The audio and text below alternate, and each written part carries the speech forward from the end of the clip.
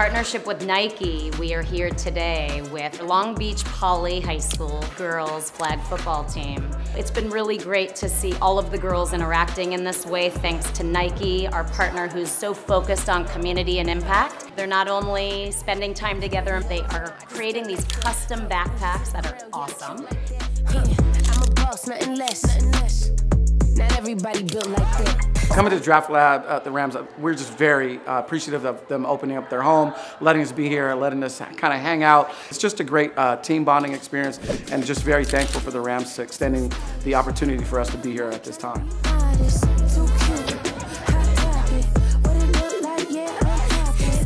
Was younger, I was always like watching football with my dad, throwing the ball with my cousins, but I always like was bummed to not have the chance that they had to play football. And now that I'm finally getting that, it really like makes me happy. Even going to my doctor, she's like, "Oh my God, you're playing flag football!" Like my daughter's always wanted to play. Like you're the first person to do it, so I thought that was really cool. I would tell the next generation of girls that want to play football to never give up, and just the family that you make on the field is always worth it. So just keep going.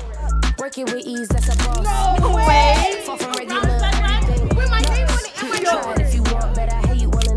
I hate you all in love. Guarantee that how you sprung. Poly on three. One, two, three.